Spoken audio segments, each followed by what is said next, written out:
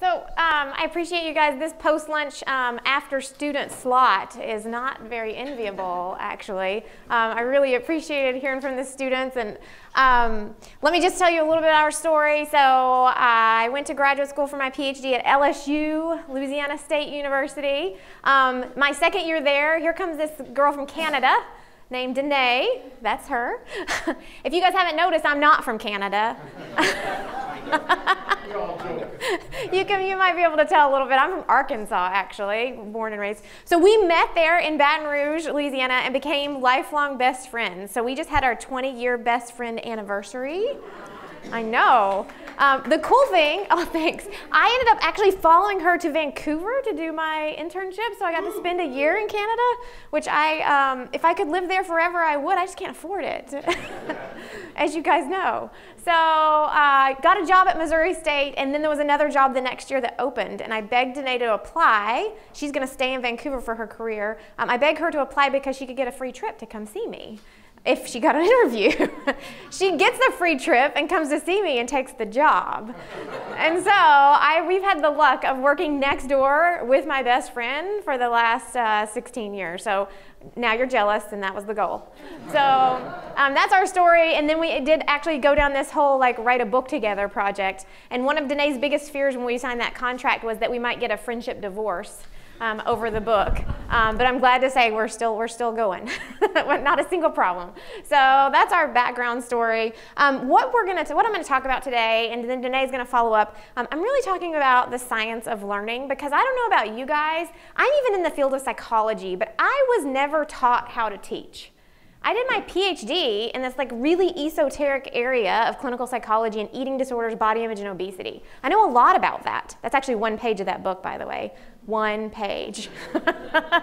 so um, I know a lot about that, but I did not know a lot about teaching, and yet I was just thrown in um, to teach all these classes. And so at some point um, in around 2010 or so, um, we embarked on this whole project to redesign our whole introductory psychology program. And through that process, kind of got obsessed with the science of teaching and learning. And now that's actually what all our research is, and that's what we focus on. And it's super exciting now to feel like I'm making a difference. I don't think those publications that I have about body checking behaviors are really making a difference in the world, but actually I have 330 students in my intro psych class every semester, and I'm making a difference in their world. And so it feels really um, powerful and meaningful. So some questions that we have to understand when we're talking about student learning is if you don't know how people learn, then how are you going to design a class that maximizes their learning abilities. So that's the most important thing. And there's lots of great resources out there. So I'm going to throw some titles up there for you that should be on your shelf because um, they've made such a huge difference for us. So How Learning Works, a lot of the concepts that I'm going to talk about today are in Make It Stick which is an excellent book. Um, small teaching, um, and you already saw this one on the big screen today. So these are some great resources with cognitive science at the backbone. So we know how the brain works, we just don't often translate that into the classroom. And so today, I always like to give you guys um, a warning of where we're going, and believe me, I'm going to try to keep it brief because I got a 30 minute slot. I'm going to talk about five principles of learning that you can apply in your classroom um, and really think about with your students and teach your students. Um, it was Puya over here who said something that I was like, oh, yes, that's perfect. He's like, we need to learn how to learn. And I think that's part of our job as educators is not just teaching them content, but teaching them how to learn. And these five principles are things that I bring up over and over and over in my class. When they want to know, why are you doing this a certain way? I'm like, oh, that's the best question ever. Here's why I'm doing it this way. So we're going to actually start out with what doesn't work. we're going to go backwards for a second. I wish the students were in here because they, they, they responded so beautifully to this. But you all can put on your student hat. Pretend you're a student. What do you think of these strategies are students most likely to indicate they use? What do they use? What do they do to prepare? Review their notes. Rereading? Highlight. Okay, good job. Those are the top three. In fact, in one study, a recent study, 84% of students reported that they engage in rereading, which kind of threw me because I was like, rereading? Doesn't that imply like reading to begin with? I was like, I don't know if 84% of my students were ever reading actually, but that's what they say they're doing. So rereading, highlighting, and reviewing their notes. And that's almost what our student panel said, except for Maria, because I was loving me some Maria. Um, she had some great ideas um, that were really effective based on cognitive science. But that's what our panels do. And believe me, those are the cream of the crop sitting up here, right? This is what they are doing. Here's the problem. The research suggests is those are highly ineffective study strategies. They don't work. You can spend a lot of time doing them, but they're not very effective. So uh, one study showed that these three things combined were not actually correlated with exam scores.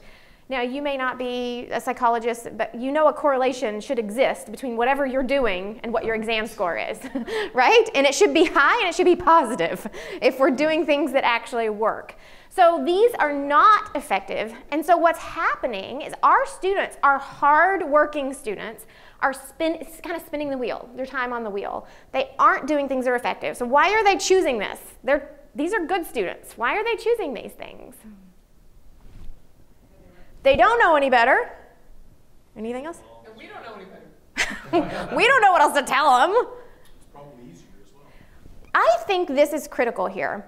These things are what I always call comfortable and easy strategies. Highlighting. Think about that, right?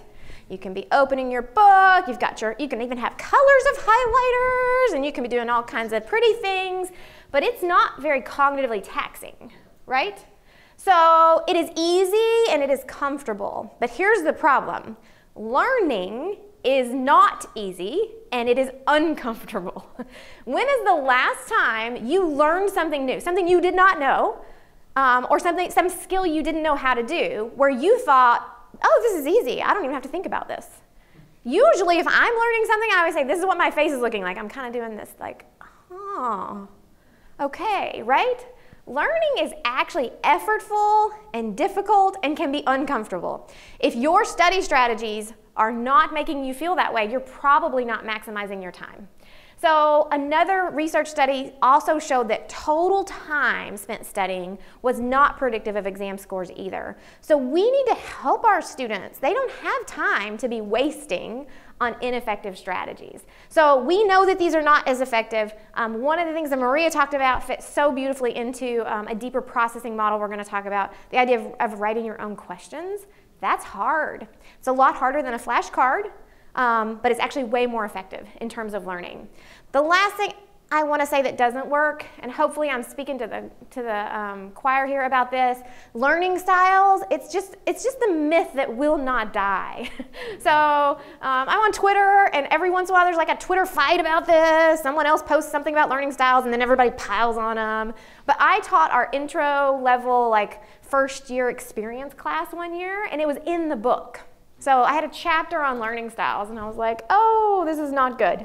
So learning styles, if you're not familiar with this whole thing, is the idea that there's a particular way in which people learn better. Some people are kinesthetic learners, some people are visual learners, and you need to match your instruction to their particular learning style in order for them to learn best.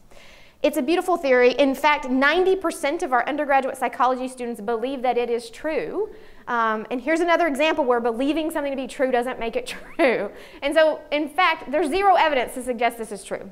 So um, matching learning style and instruction style is not an effective way um, to get students to learn. Um, in fact, I think we do our students a disservice to give them that idea that that's what, the, what they need to do. I always imagine us sending people out into the workforce um, and they're at a job and their boss tells them to do something like, I'm sorry, I'm not an auditory learner. Could you write that down for me? They do say that. like, this is crazy. We cannot be teaching our students this.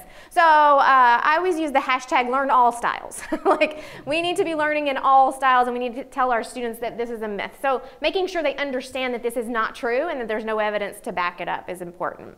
So now are my five. So we're going to start with space versus mass practice. We call it distributed practice in psychology. I don't think anyone here is unaware of this, right?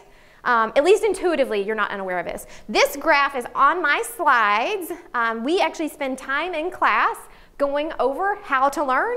And this, I put this graph up there every time to point this out. And I don't do it right before an exam. I start at the beginning and talk to them about planning out their, their schedule of, of studying. If you keep study time equal, people who spread their, their practice sessions out over time will do better. This is the way our brain works. So you can study for 30 minutes and spread that out over six or seven sessions versus studying for four hours. But what do our students do? When do they study for their test? Even someone else said, I could stay up all night studying, and I was like, no, that's not going to work. Right? So our students are massing their practice, which is to their disadvantage.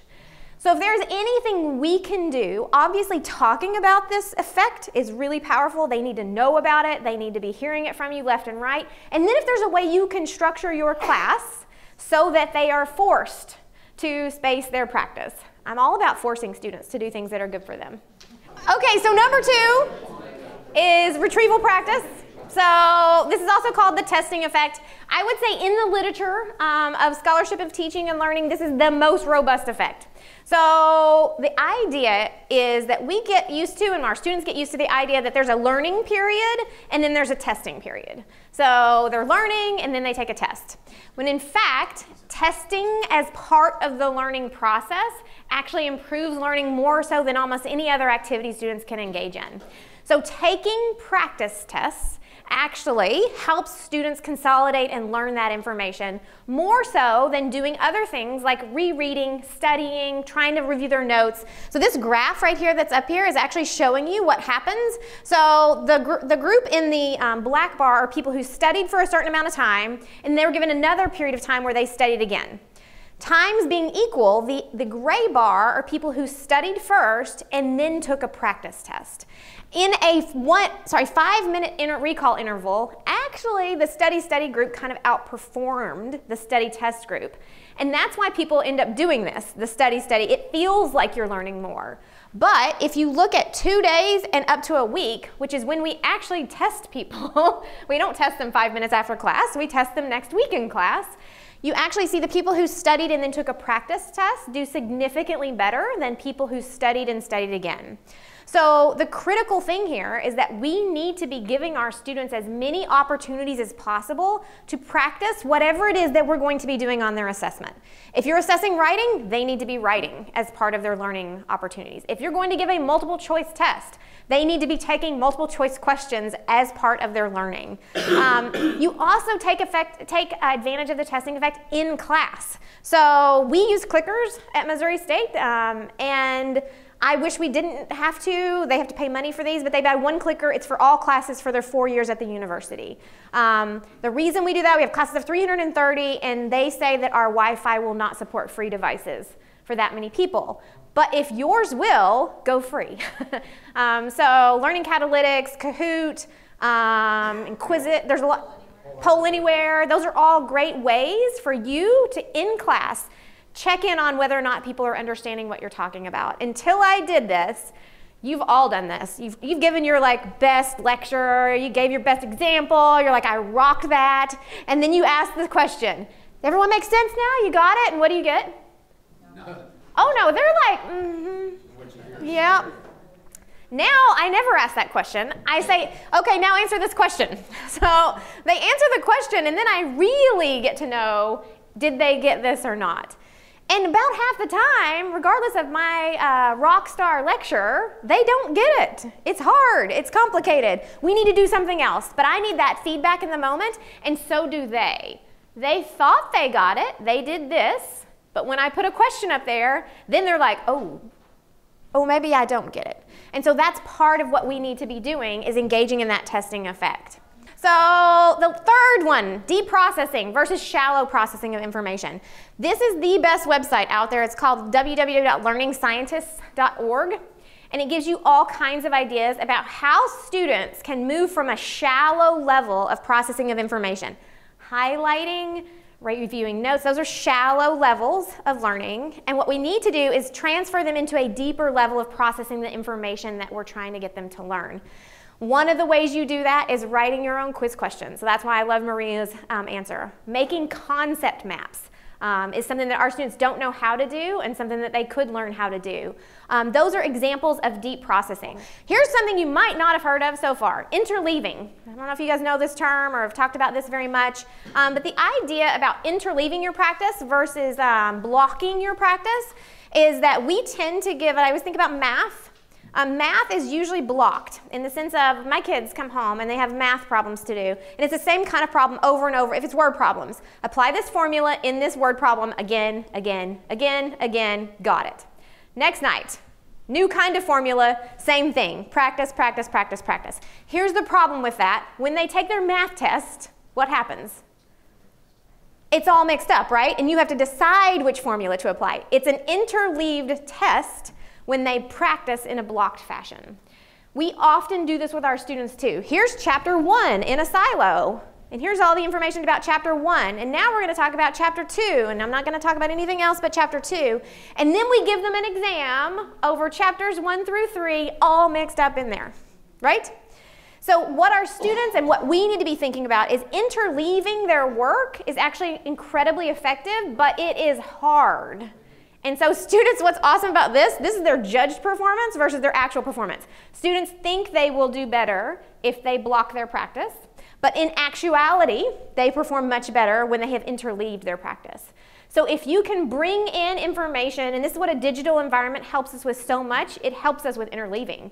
Um, you can, in chapter one, bring in stuff from chapters three. You can hint to something that to come. There's lots of ways to engage in interleaved practice in a digital world, but you can also do it in your classrooms as well. So interleaving is really powerful. Um, students resist it, again, because it's uncomfortable and hard, which means it's learning, right? And so that's why I think it's so critical to think about that. And then my number five is metacognition. Um, this has become really, really critical, I think, in the literature, and we you've all experienced this in your students. This is the student who comes to you after they've taken an exam, and they say, I studied, I studied, I, I took the test, I thought I did really well, and I got a D. And now my response to that is, oh my goodness, you've had a metacognitive failure. and they're like, You didn't know logistics. so metacognition is your ability to know what you know and what you don't know. It's a critical skill when it comes to learning um, because when do you decide, I've got this, I'm ready to take the test? It's based on your ability to accurately assess whether or not you know that information well enough to take the test. And so our best students are really good at this. Unfortunately, the majority of our students overpredict their performance.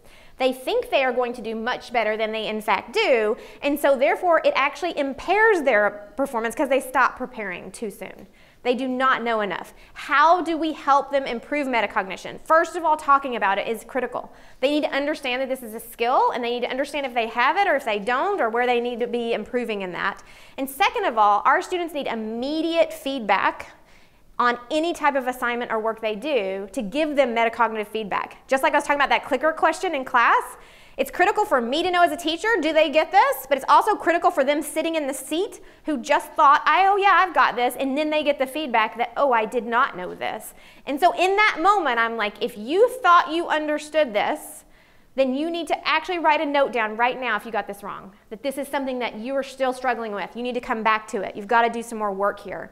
So giving them that, and then Danae's going to talk about how Revel actually has immediate feedback built in, and so that really helps them with, with improving their metacognitive skills. Okay, I don't know how long I talked, but we're done.